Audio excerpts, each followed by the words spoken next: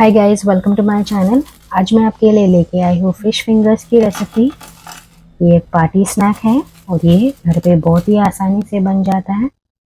इसे हम बासा फ़िश से बना लेंगे। और ये खाने में बहुत ही टेस्टी होता है। तो चलिए रेसिपी को शुरू करते हैं। यहाँ पे मैंने बासा फ़िश फिलेट्स लिए हैं 300 ग्राम। इसको हम स्ट्रिप्स में कट कर लेंगे। इसको फिंगर साइज़ स्ट्रिप्स में कट कर लेना है हमें, बिल्कुल ऐसे ही। सारे फ़िश फिलेट्स को हमने कट करके रख लिया है। बिल्कुल इसी तरह से आपको इसको तैयार कर लेना है। इसके मैरिनेशन के लिए हमने एक बोल में दो एग वाइट लिए हैं। इसमें हम चार टेबल स्पून मैदा डालेंगे। इसमें जाएगा एक टेबल स्पून मस्टर्ड पेस्ट इसमें हम डाल देंगे नमक स्वाद अनुसार।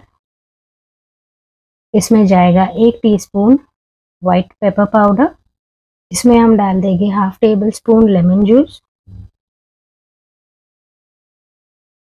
इसमें जाएगा एक टीस्पून गार्लिक पाउडर इन सारी चीज़ों को हम हाथों की मदद से मिक्स कर लेंगे और एक स्मूथ सा पेस्ट बना लेंगे।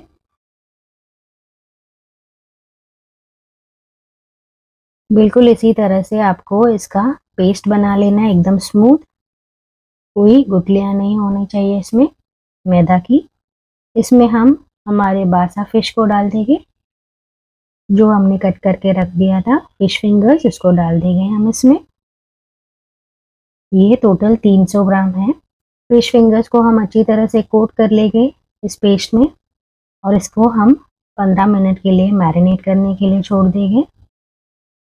यहाँ पे एक बोल में मैंने एक कप पैनको ब्रेड क्रम्स ले लिए हैं। फ़िश फिंगर्स को हम अच्छी तरह से इसमें कोट कर लेंगे। आपको इसमें दोनों हाथ गंदे नहीं करने हैं। एक हाथ से आप फ़िश को उठाकर इस पैन को मिक्सचर में डाल दोगे और दूसरे हाथ से आप इसके ऊपर पैन को ब्रेड क्रम्स लगा दोगे। इसलिए आपको एक हाथ को साफ़ ही रखना है ताकि आप फ़िश को अच्छी तरह से पैन को ब्रेड क्रम से कोट कर सको। इसी तरह से आपको इसको हाथों के बीच में रोल करके इसको कोट कर लेना है। अच्छी तरह से कोट कर लेना है आपको। इसको कोट करने के बाद हम इसको डीप फ्राई कर लेंगे। इसको ब्रेड क्रम्स लगाने के बाद आप इसको आराम से फ्रीज कर सकते हो। एक दो महीने तक ये फ्रीज़र में रहेगा, एयरटाइट कंटेनर में।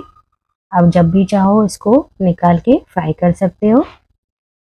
यहाँ पे मैंने तेल गरम करने के लिए रख दिया था। तेल अच्छी तरह से गरम होने के बाद हम इसमें फ़िश फिंगर्स डाल देंगे और इसको पहली बार इसको बस तीन मिनट तक हमें पका लेना है। मीडियम फ्लेम पे हम इसे पका लेंगे।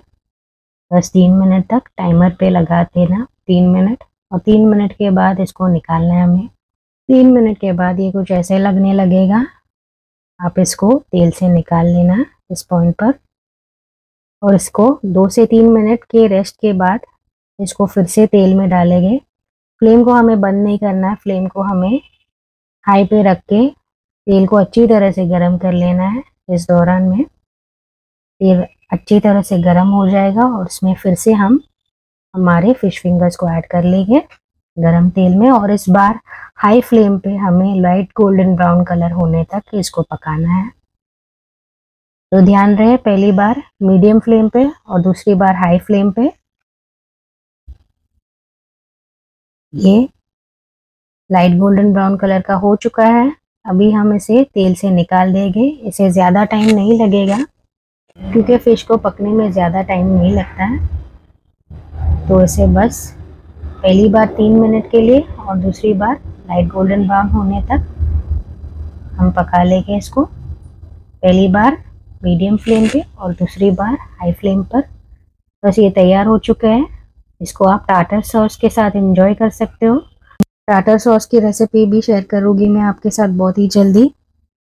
Thank you for watching until next time bye